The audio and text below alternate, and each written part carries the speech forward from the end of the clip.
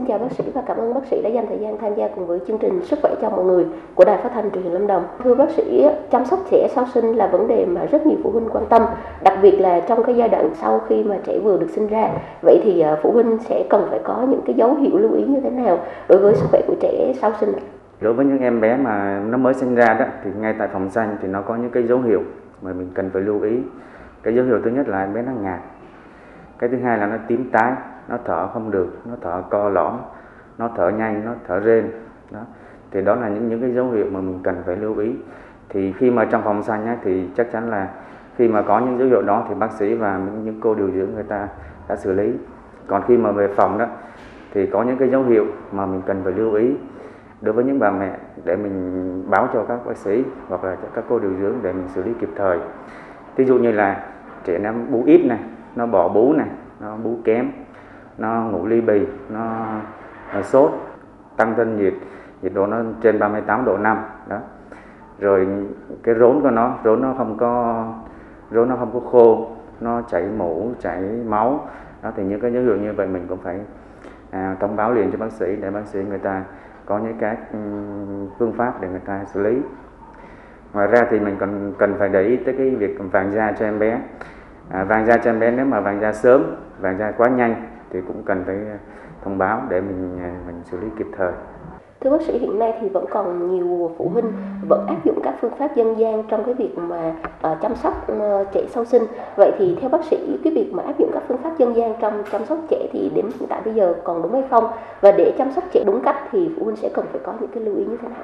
Đối với việc chăm sóc bé đó thì có những cái biện pháp mà dân gian thì à, cho tới hiện nay thì cũng có những cái mà nó đúng mà cũng có những cái mà nó chưa đúng. Đó thì đối với việc chăm sóc cho em bé thì à, sau khi về nhà đó thì mình cần phải lưu ý những cái chuyện. Thứ nhất là cái vấn đề cho em bé nó bú. Thì khi mà em bé nó bú đó thì nó thứ nhất là nó bú nó đủ đủ liều lượng nó đủ về thời gian. Ví dụ em bé mà nó ngủ à, ba bốn tiếng là mình có thể đánh thức em bé mình cho nó bú bú rồi mà nó mà ngủ mà nó ngủ ly bì nó ngủ lâu quá nó không có thức để nó bú thì mình phải chủ động mình đánh thức cho nó được đánh thức nó để cho nó bú. Đó. À, còn vấn đề thứ hai nữa là vấn đề chăm sóc da cho em bé.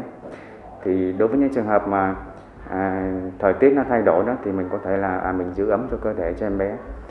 Nhưng mà mình giữ ấm thì mình không phải là mình quấn em bé à, quá mức. Đó thì cho nên thì mình vừa phải quấn giữ ấm cho em bé mà mình phải vừa vừa phải tạo cái không khí thoáng mát cho em bé. Vấn đề thứ ba nữa là cái vấn đề mà chăm sóc mà vệ sinh hàng ngày cho em bé.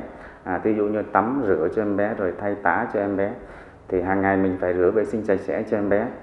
Để cho em bé nó không bị hâm nó không bị nổ những cái mụn mủ thì nó sẽ làm cho em bé nó nhiễm trùng da. Và vấn đề thứ tư nữa là vấn đề chăm sóc rốn cho em bé thì khi trong bệnh viện đó thì mấy cô à, y tá sẽ à, hướng dẫn những cái cách mà mình chăm sóc rốn cho em bé. Thì chăm sóc rốn chủ yếu mình sử dụng cái à, cái nước muối sinh lý thôi. À, thì à, mình mình phải giữ cho em bé cái, cái rốn cho nó khô. Sau khi mình về nhà à, mình cần phải lưu ý thứ nhất là cái vấn đề cho bú.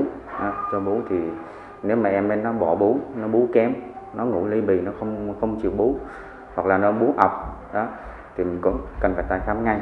À, hoặc là bụng em bé nó chướng nó chướng căng nó không có đi đại tiện tiểu tiện được thì những triệu chứng đó thì mình cũng cần phải tái khám.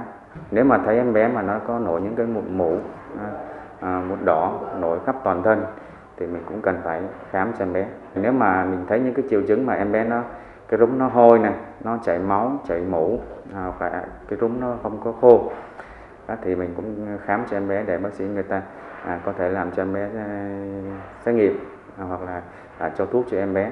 Cảm ơn bác sĩ đã dành thời gian tham gia cùng với chương trình.